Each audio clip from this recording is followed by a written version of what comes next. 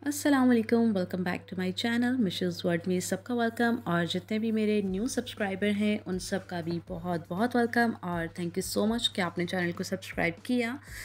तो आज मैं छत पर टहल रही थी तो मौसम बहुत ज़्यादा अच्छा था। मेरा दिल चाय गंड पीने को भी चाह रहा था, इतने में मेरे, मैंने अपने पौधों को देखना शुरू कर दिया। कुछ नए पत्ते आ रहे थे और कुछ ख़राब हो गए हुए थे बहुत ज़्यादा। यहाँ गुलाब के पत्तों की दो कलियाँ पे भी बस निकली हैं और मैं डेली इन्हें तोड़ लेती हूँ क्योंकि मुझे बहुत अच्छी लगती हैं। यहाँ पर कुछ ऐसे पौधे भी हैं। मैंने यहाँ पर थोड़ा सा फिल्मी स्टाइल बनाने की कोशिश की लेकिन अनफॉर्चुनेटली नहीं बना, थोड़ा सा ख़राब हो ही गया। तो खैर, मैंने सोचा क्यों ना शाम की चाय पी लें और फिर साथ साथ कुछ बातें भी कर लूँ आपके साथ। बातें क्या करनी है?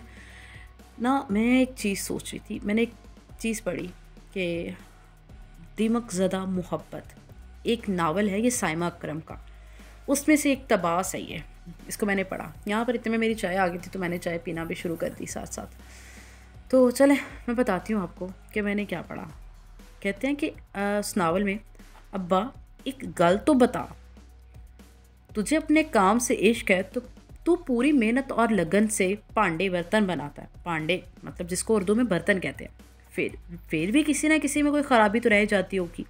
ये पता नहीं आ, कोई जैसे कह लें सराइकी ज़ुबान टाइप का कुछ उर्दू और ये पंजाबी मिक्स करके ये बनाई गई है। मतलब उस ज़ुबान में ये है।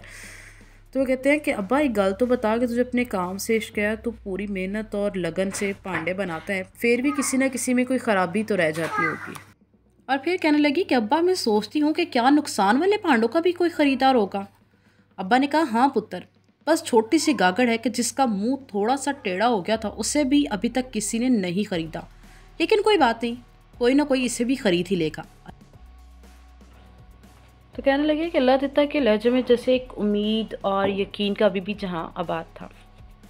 कहते, अब्बा तो इस गागड़ को फेंक क्यों नहीं देता? उसने इंतहाई एक इस्तनसार अंदाज में मशवरा दिया, ले, मैं अपनी बनाई चीज़ को क्यों फेंक दूँ?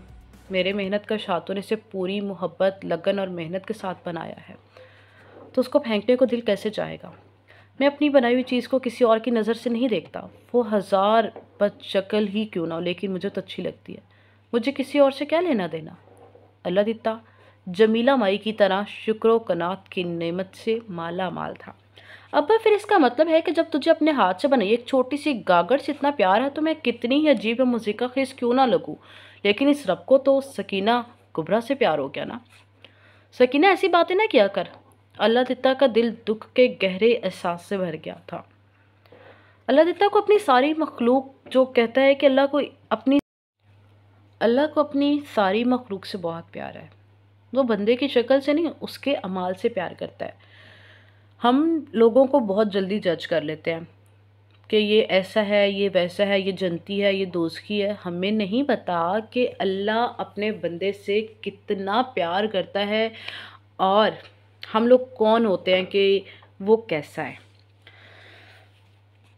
कहते हैं कि हमें ना बस अपना ईमान पुख्ता रखना चाहिए और अल्लाह के ज़ात पर कभी शक नहीं करना चाहिए, क्योंकि अल्लाह जो करता है वो बहुत बेहतर करता है। बेहतर से बेहतरीन करने वाला है।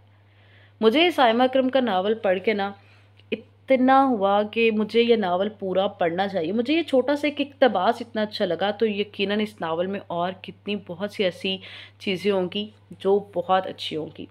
मैं कोशिश करूँगी कि जिस नावल में मुझे जो जो अच्छा मिला, मैं आप लोगों के साथ ज़रूर शेयर करूँ। ये थी हमारी शाम और कुछ बातें। अपना